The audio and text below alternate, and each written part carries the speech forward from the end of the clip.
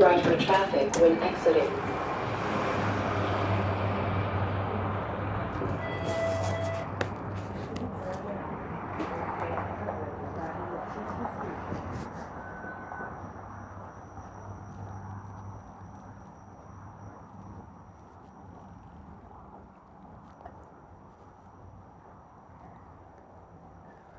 Hello everyone, it is Tuesday, April 20th.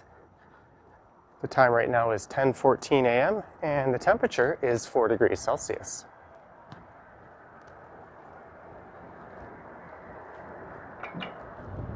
I'm here on Queen Street East in the Leslieville neighborhood.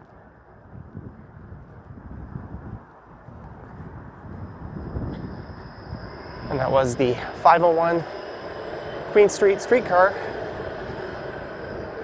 that I was just on. And I'm currently walking east along the north side of Queen Street. And the plan for this one is to go for a walk up one of Toronto's most unique residential streets. And that would be Craven Road.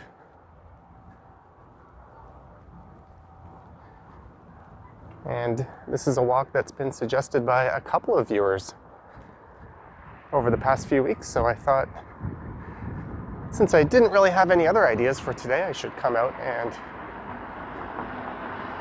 explore this street. And full disclosure, I think this would be my first time going up the entire length of the street before.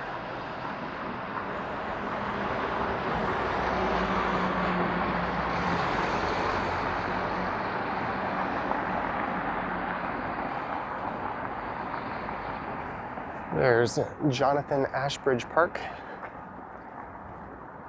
And just to the south of here is Lake Ontario.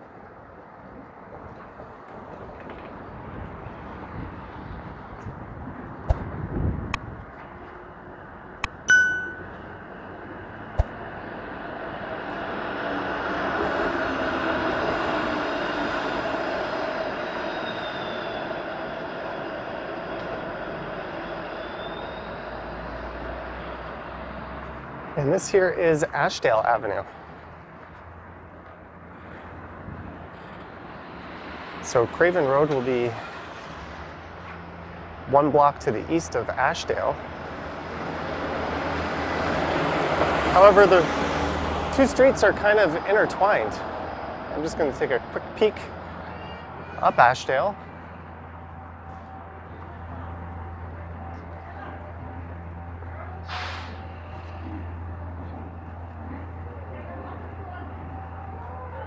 As the backside of these houses on the right go right up to the west side of Craven Road, as you'll see quite shortly. And that's one of the reasons that makes Craven Road so unique.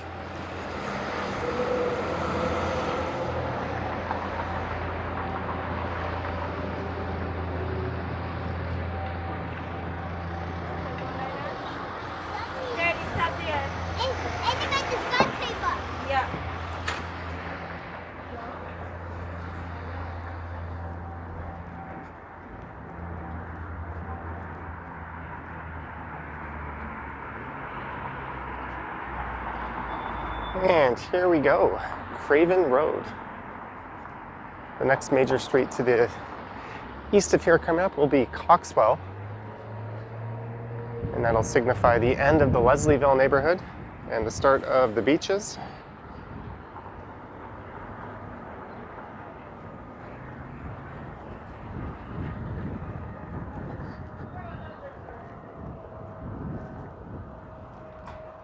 So the west side of the street is lined by what is the longest municipally maintained fence in the city of Toronto.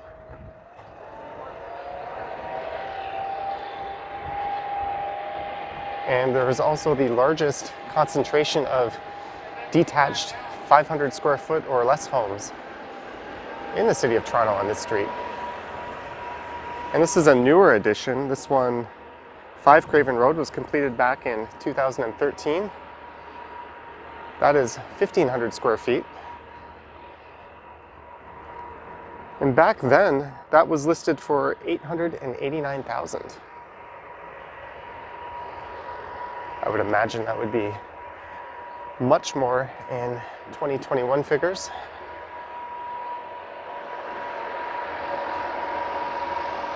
What's also unique about this street is no two homes are the same.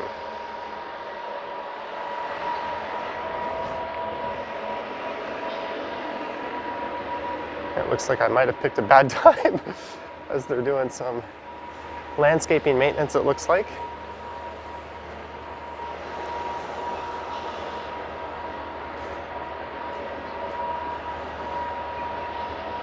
So originally, the street was a laneway called Erie Terrace.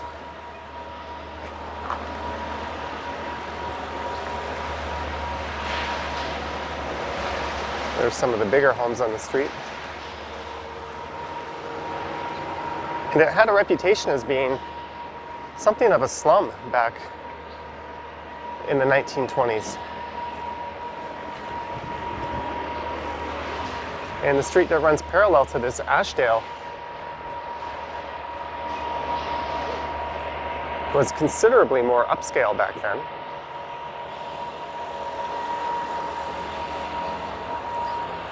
And in the 20s, the city expropriated part of the backyards of these properties on Ashdale. And they expanded the street from, I think, 11 feet to 33 feet in width.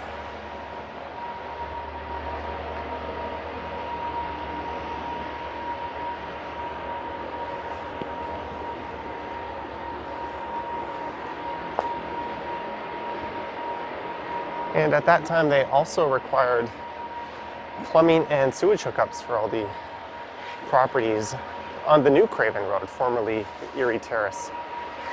And a lot of the residents couldn't afford that, so they were driven out.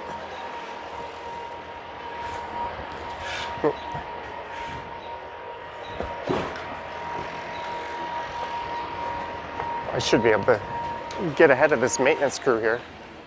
Hopefully we can enjoy some more quiet along the street.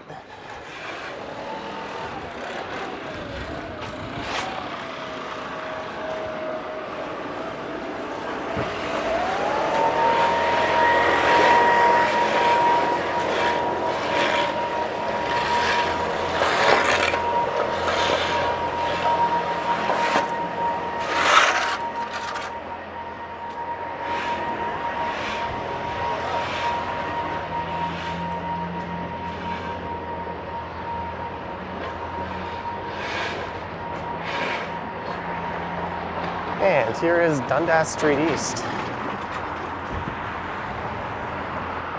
Here's a home for sale, 153. And that one is going for 1.4 million.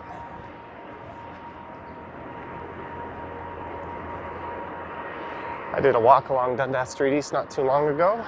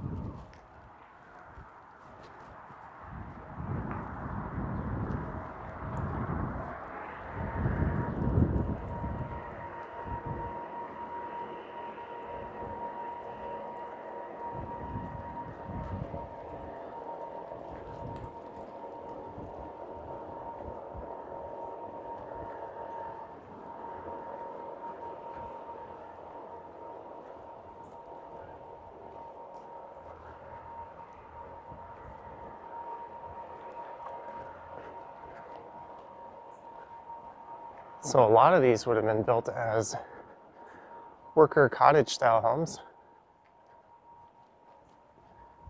This thing seems to be leaning quite a bit.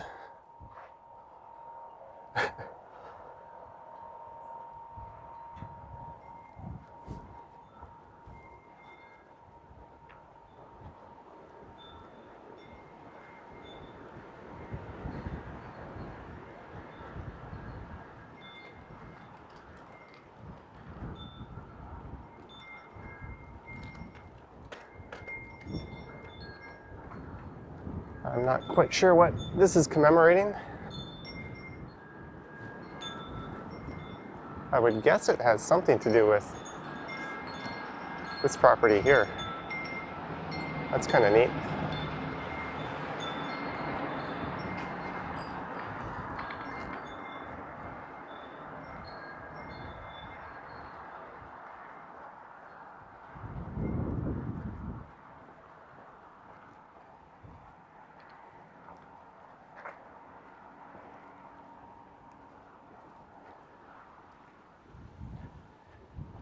This one looks kind of like the Wellesley cottages that you'd find over in Cabbagetown.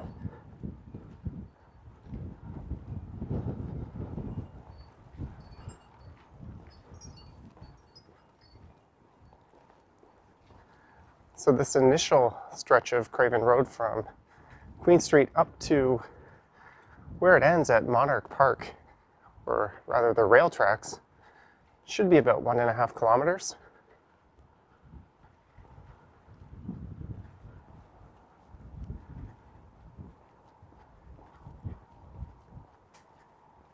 Then once I'm north of the rail tracks, I'll be out of Leslieville.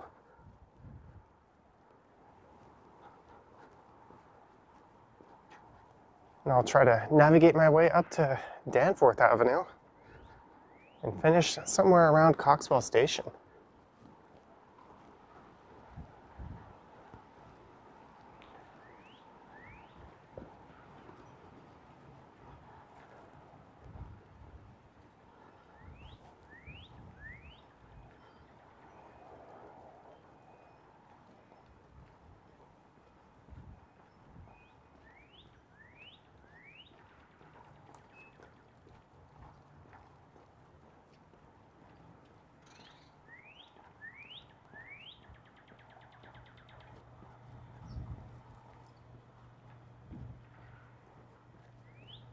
And coming up at Gerrard should be Little India.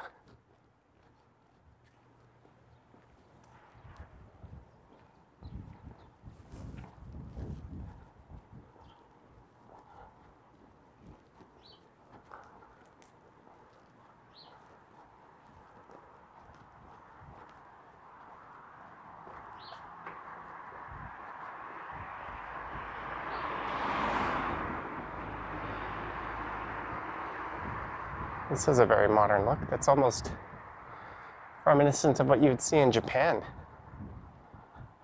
There's a house in Kensington Market that's kind of like that.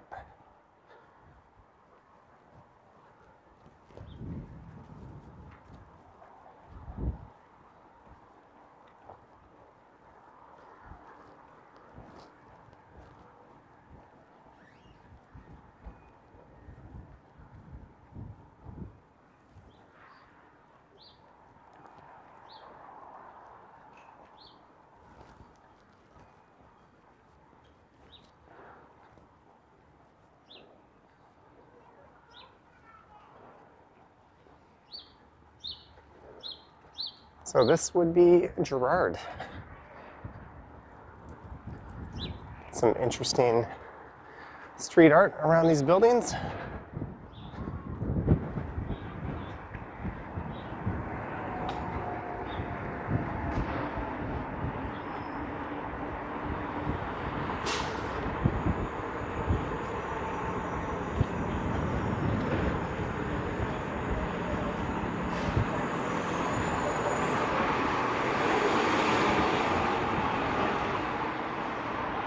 And welcome to Little India.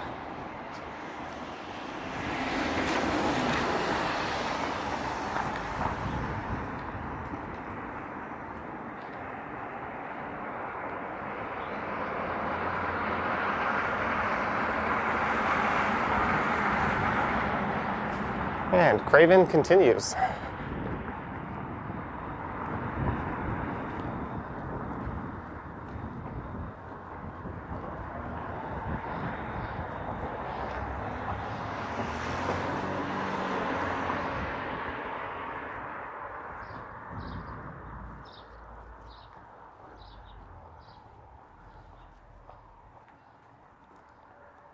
I think some have dubbed Craven Road as Tiny Town before.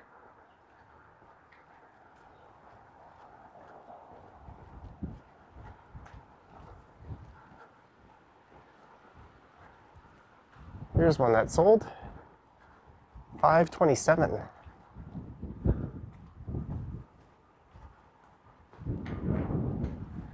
And one of the issues with the street widening was back then normally they would offload that bill to the residents of the street.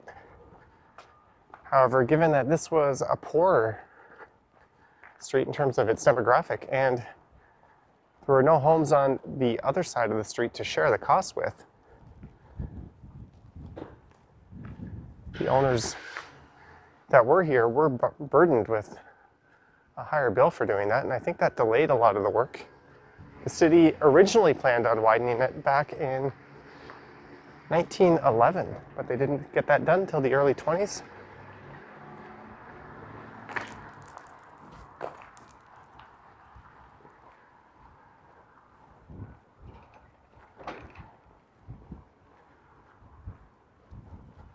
I like this one here at 577.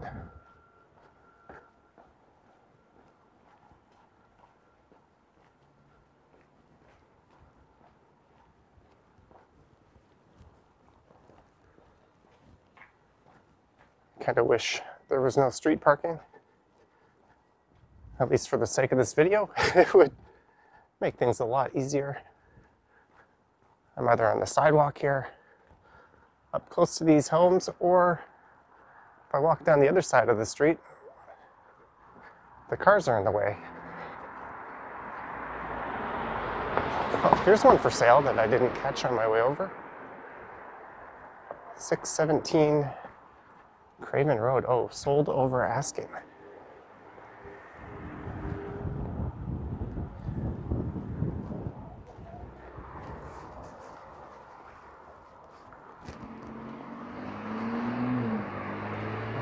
Fairford Avenue.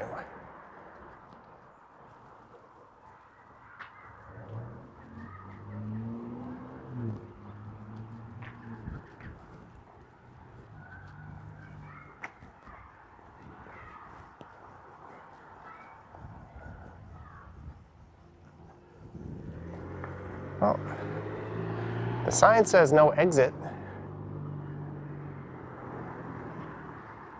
But I think there's a path that runs along the rail tracks. And I'll be able to take in either direction. One, if I go left, that should take me over to a tunnel. That'll lead me up into Monarch Park.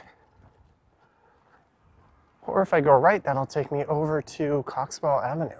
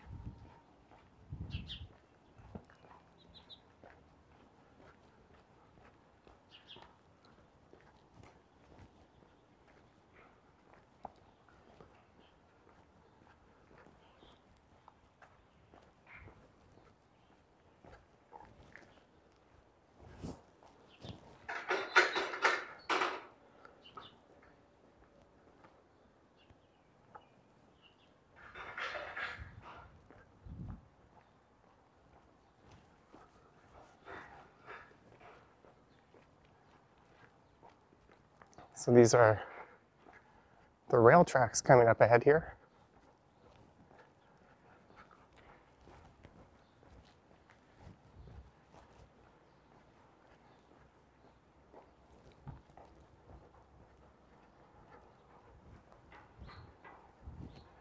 And this one is called Mini Craven.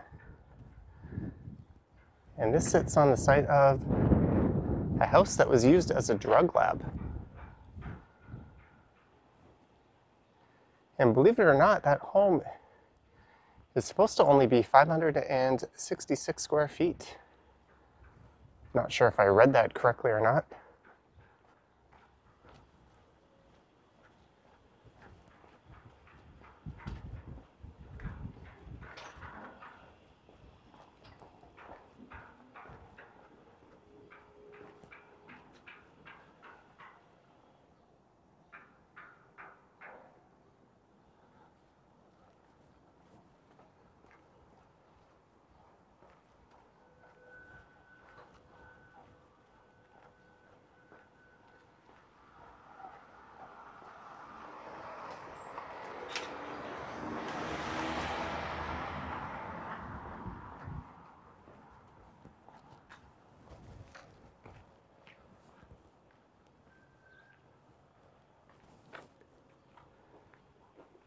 I guess this has to be a two-way street at the end here, otherwise how would cars ever get out?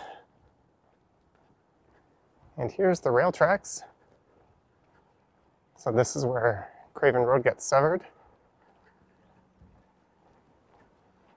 There's Monarch Stadium on the other side.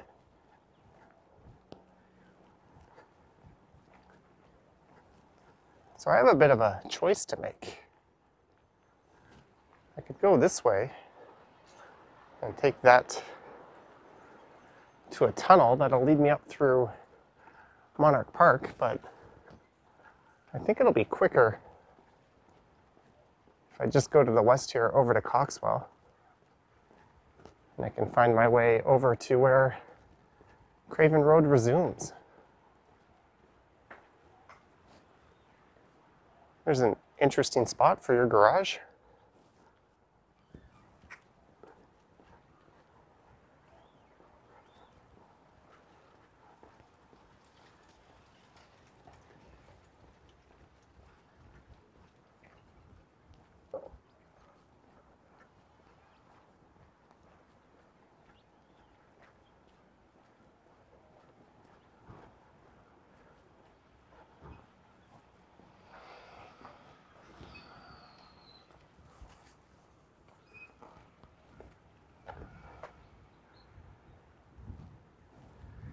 Be kind of neat if a GO train ripped through right now, but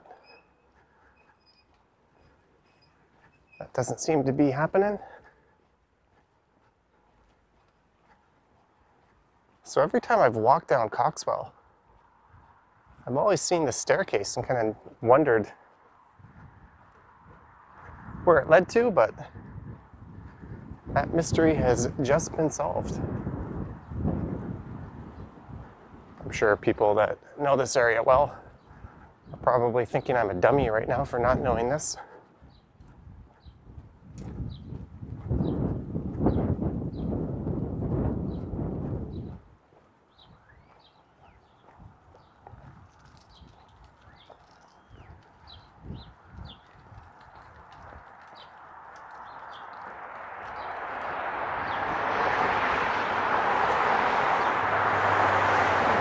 And it's Coxwell.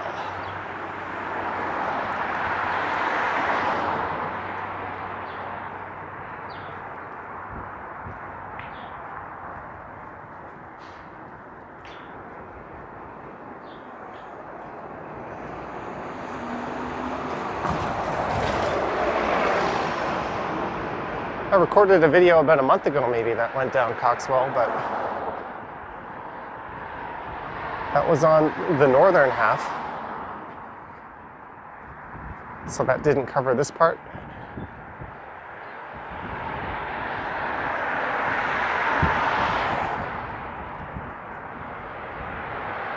It is windy. And tonight we're supposed to get some snow. Love you to the moon and back. So I was hoping to do a live stream later tonight. I couldn't do one yesterday as the Rogers network was down. I didn't get service on my phone till after 8 p.m.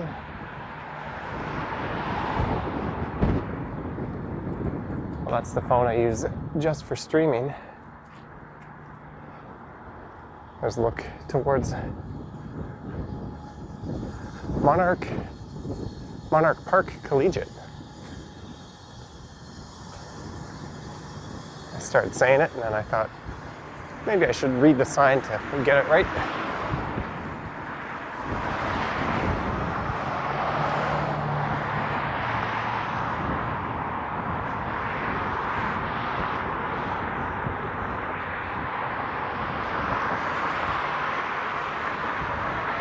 And this here is Hanson Street.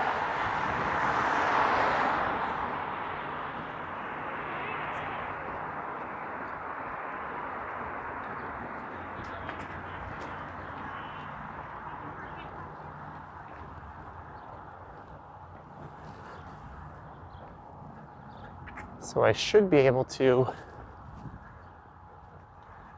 get back on Craven Road. Although Ashdale Avenue, the street that runs parallel to Craven Road, has a different name. Or rather, the stretch that runs parallel to it, north of Monarch Park, has a different name. That's a really cute house.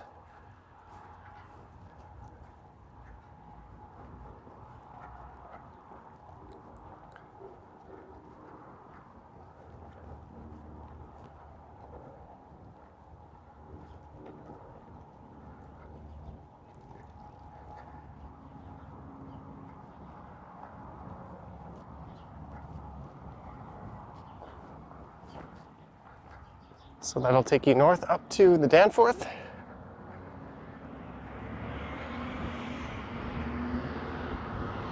There's Monarch Park Collegiate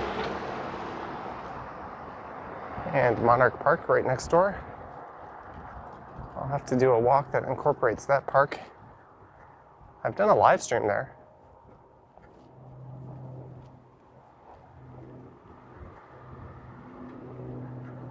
I probably just should have gone through it on this walk.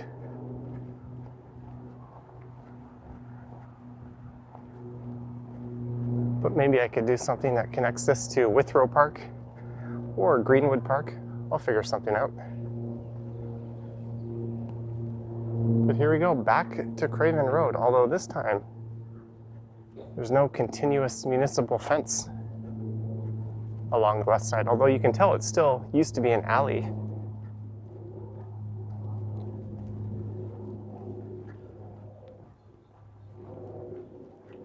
And the road that runs parallel to it is Parkmount Road.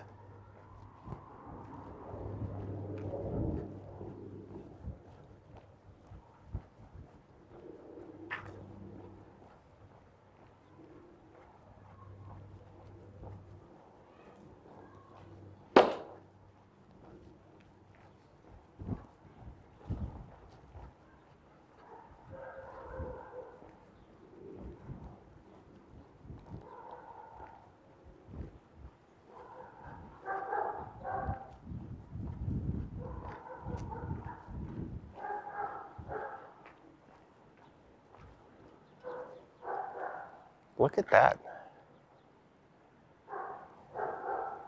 I'm getting some more Japan vibes.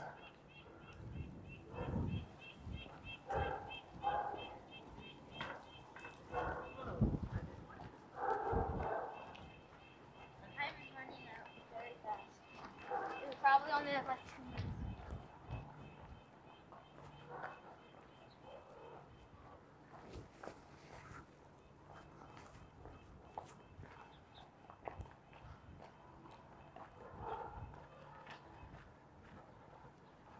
So that's actually two homes there. And here's a home for sale coming up.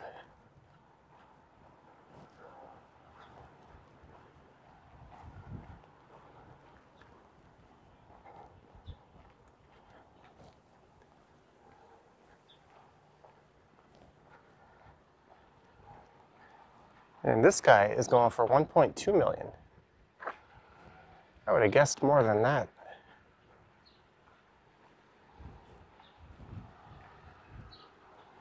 Apparently it's 1100 to 1500 square feet, according to the listing I am glancing at.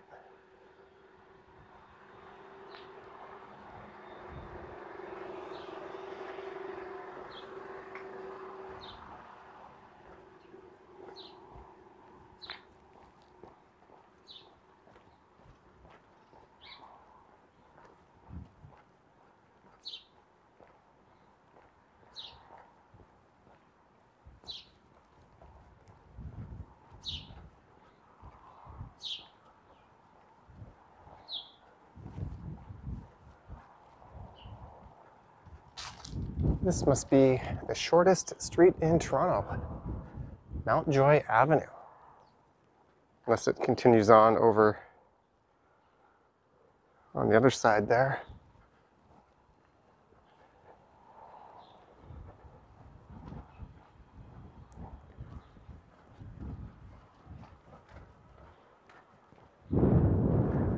Yes, it does.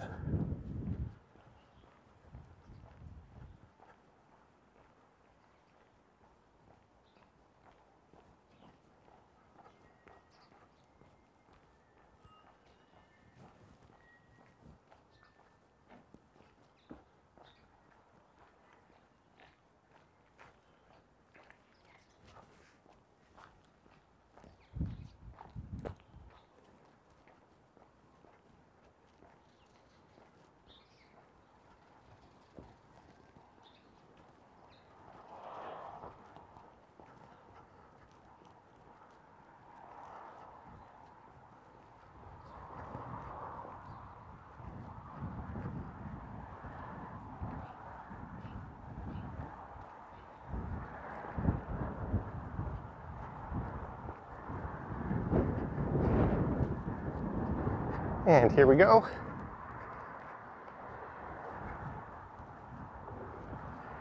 This should be Danforth Village.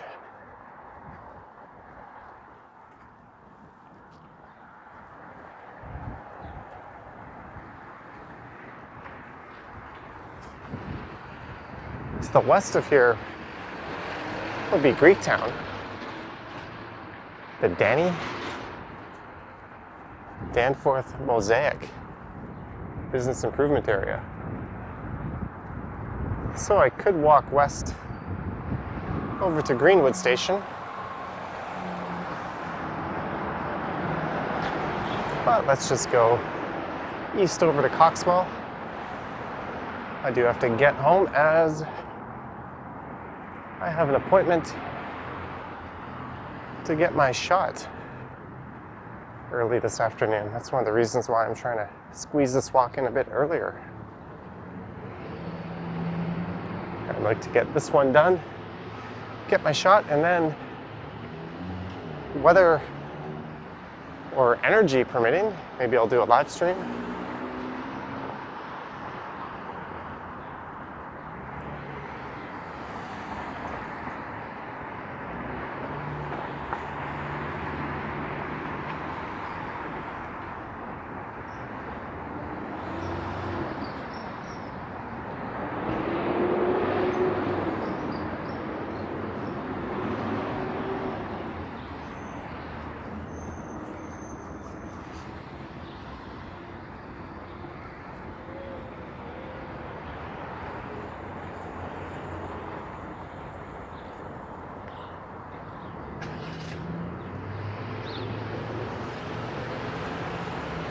And it's back to Coxwell.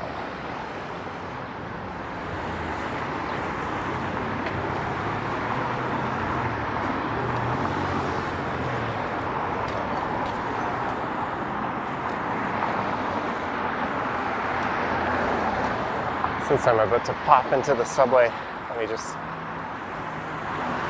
put the mask on carefully while not dropping the camera.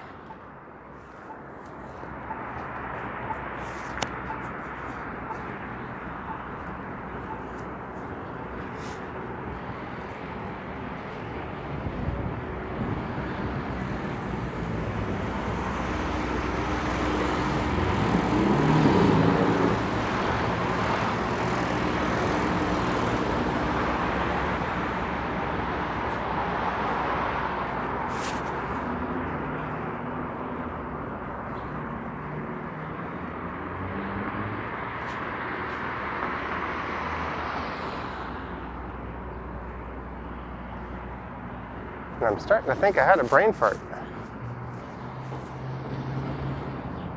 I thought there was a subway station here, but I was wrong. it's early in the morning, folks. It is early in the morning. At least for me, it is.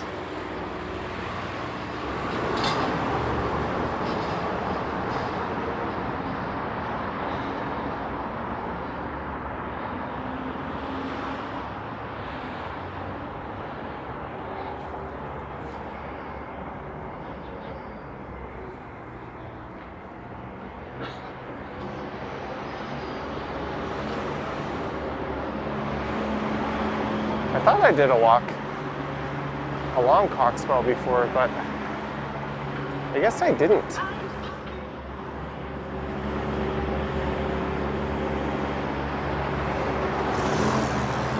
So we are at Danforth and Coxwell now. And you know what? That's fine. I'm kind of hungry, and there's a subway right here. So I'm gonna go in and grab myself a sandwich and eat it at the park across the street. All right, guys, thanks for watching, and I will catch you on the next one.